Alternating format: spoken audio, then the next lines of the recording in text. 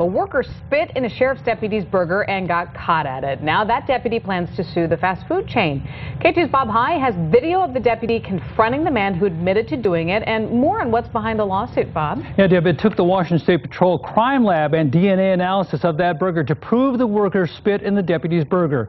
But frustration with Burger King itself is behind the deputy's lawsuit. He was stopping at the drive-through just like this. Uh, like a Whopper, please? Ordering a burger at this Vancouver Burger King just over a year ago.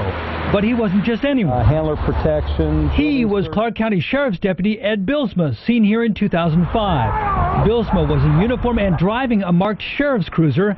Unfortunately for Bilsma, the man cooking burgers that night How do you plead, sir? Guilty. was 22-year-old Gary Herb of Vancouver, in court pleading guilty to third-degree assault against the officer. His crime seen in a photograph hard to look at, spitting on the deputy's burger. You can see it at the center of the patty. We couldn't find Gary Herb. We did find his dad. I, I really can't make any comments. So, Feel for the officer at least? well, um, again, I, I don't know. I mean, I'm I've only heard one side of the story, so I, I really don't have anything else that I can can say. Deputy Bilsma, suspicious from the start, opened the burger before biting into it.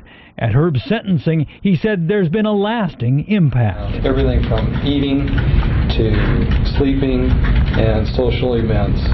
And um, I, I just can't tell you how appalled I am that somebody would do something like this to me or any one of my other uh, fellow officers. Frustrated that Burger King hampered the investigation, Deputy Bilsma is suing the restaurant chain. When the deputy asked for changes, for an apology, for any kind of assurance that this wouldn't happen again, that just hasn't been forthcoming. Now, Burger King says it fired the employees for violating procedures, but the deputy's attorney says the restaurant isn't doing criminal background checks on the people it hires. One of the fired workers also apparently has hepatitis. Some fired workers, like Gary Erb, had been there for a year, and there's still no telling, even now, how long they'd been spitting into officers' burgers there. It is thoroughly disgusting. We, know, we Disgusting. know what happened in this case, and we, we just hope it was an isolated incident. You hope so. All right, Bob, Hi, thank you, sir.